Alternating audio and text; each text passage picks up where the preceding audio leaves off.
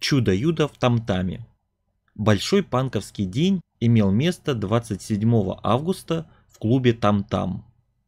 Открыли его молодые ребята из группы Сленг, недавно отыгравшие аж в театре эстрады в одной компании с Вовой Веселкиным. Отрадно отметить, что с тех пор они изрядно окрепли, стали хлестать решительнее и злее. Затем, к всеобщему восторгу, на сцене появился совершенно трезвый Андрей Свинпанов и спел несколько совершенно новых песен. Прекрасно. Огуречный лосьон и трехмоторный пылесос, конечно, хороши, но паровоз должен катиться вперед, и как раз самое время подкинуть уголька. Любопытно, в наш век независимых пластиночных компаний кто-нибудь собирается фиксировать на виниле живую легенду национального масштаба? Стыд и позор, господа. Но главной сенсацией вечера были московские гости Чудо-Юдо, памятные по культовому фильму «Авария. Дочь мента». Облаченные в живописные лохмотья, столичные страшилы выкатились и, рявкнув «Punk's not dead», ударились в штурм и дранг.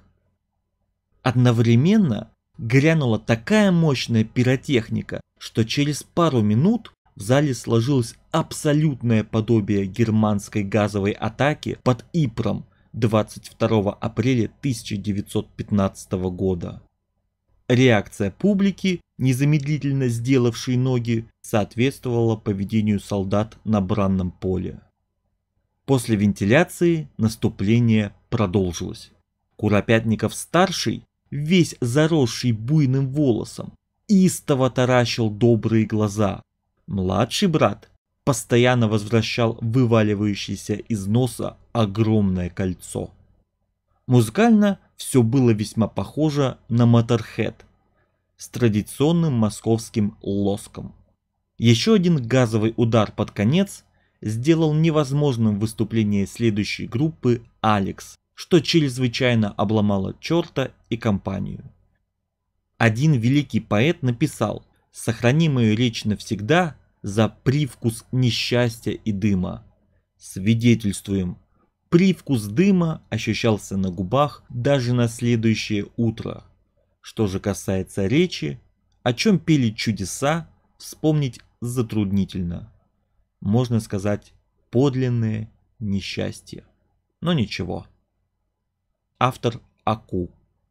Вы только что прослушали отчет о концерте прошлых лет, который зачитал вам я, орг из группы Турбохой. Подпишись на канал, чтобы не пропустить новые выпуски.